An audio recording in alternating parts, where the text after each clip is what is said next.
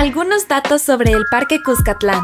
Este hermoso lugar en medio de la ciudad fue inaugurado el 1 de marzo de 1939 y marcó el desarrollo hacia el poniente de la ciudad de San Salvador. Esto ocurrió durante el segundo gobierno de Maximiliano Hernández Martínez. Se le considera un parque histórico y se sabe que la UNESCO le ha otorgado dos escudos azules, uno por la Sala Nacional de Exposiciones a la Rue y el segundo por el Monumento a la Memoria y la Verdad. Antes de su construcción, la zona había sido destinada durante años para albergar a los enfermos de tuberculosis derivados del Hospital Rosales. Las cabañas de madera, muebles y enseres fueron incinerados para erradicar cualquier riesgo de los peligrosos bacilos del Koch. Cuenta con 71.000 metros cuadrados y posee más de 900 árboles de especies nativas y foráneas. Las pasarelas que atraviesan el parque se llaman Maquilisguat y Conacaste. Permiten el flujo peatonal entre las calles Sextadécima y la Alameda Roosevelt. Respetan al entorno natural y nos regalan una perspectiva espectacular. Su última remodelación entre 2017 y 2019 fue gracias a los aportes